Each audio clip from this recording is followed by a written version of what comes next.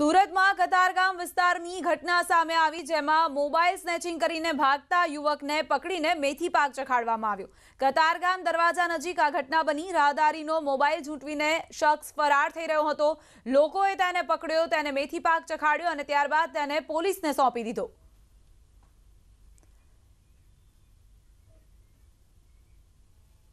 Mobile તફડાવીને ફરાર થઈ રહ્યો હતો આ શખ્સ, પરંતુ તે અહીંથી ભાગી છૂટે તે પહેલા જ લોકોના હાથ ચડી ગયો.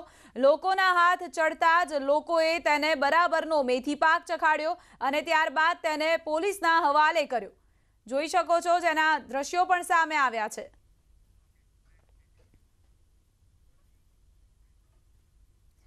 સાબરકાંઠા ટોલનાકા પર બબાલ થઈ, પ્રાંતિજના કતપુર ટોલનાકા પાસે બબાલ થઈ. ટોલ ટેક્સ નહીં ભરવાને લઈને બબાલ થઈ ટોલ ટેક્સના સુપરવાઇઝરને માર મારવામાં આવ્યો અજાણ્યા શખ્સોએ લાકડી અને પાઇપ વડે માર માર્યો સુપરવાઇઝરને માથાના ભાગે પંદર ટાંકા આવ્યા સમગ્ર ઘટના સીસીટીવી કેમેરામાં કેદ થઈ ગઈ તો સાબરકાંઠામાં ટોલ નાકા પર બબાલના દ્રશ્યો સામે આવ્યા ટોલ ટેક્સ નહીં ભરવાને લઈને બબાલ થઈ ટોલ ટેક્સના સુપરવાઇઝરને માર મારવામાં આવ્યો. અજાણ્યા શખ્સોએ લાકડી અને પાઇપ વડે ટોલ ટેક્સના સુપરવાઇઝર પર હુમલો કરી દીધો, જેમાં તેને ઈજા પહોંચતા માથાના ભાગે પંદર જેટલા ટાંકા પણ આવ્યા છે. ટોલ ટેક્સ ભરવા જેવી નજીવી બાબતે હુમલો કરવામાં આવ્યો.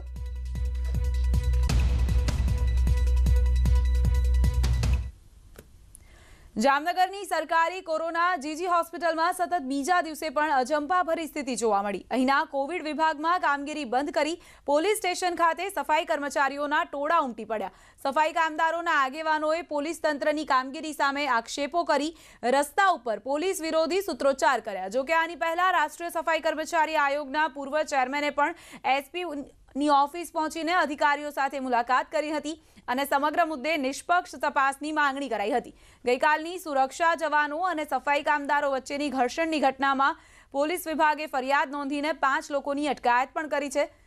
ગઈકાલની ઘટનામાં બે સફાઈ કામદાર મહિલાઓને ગંભીર ઈજા પહોંચી હતી જેના પગલે તેમને સારવાર માટે હોસ્પિટલમાં ખસેડાયા હતા આના પગલે મોટી સંખ્યામાં સફાઈ કર્મચારીઓના ટોળા ઉમટ્યા હતા જે તમામને અહીંથી દૂર કરવામાં આવ્યા હતા જોકે બીજા દિવસે પણ અજંપાભરી સ્થિતિ જોવા મળી હોસ્પિટલની બહાર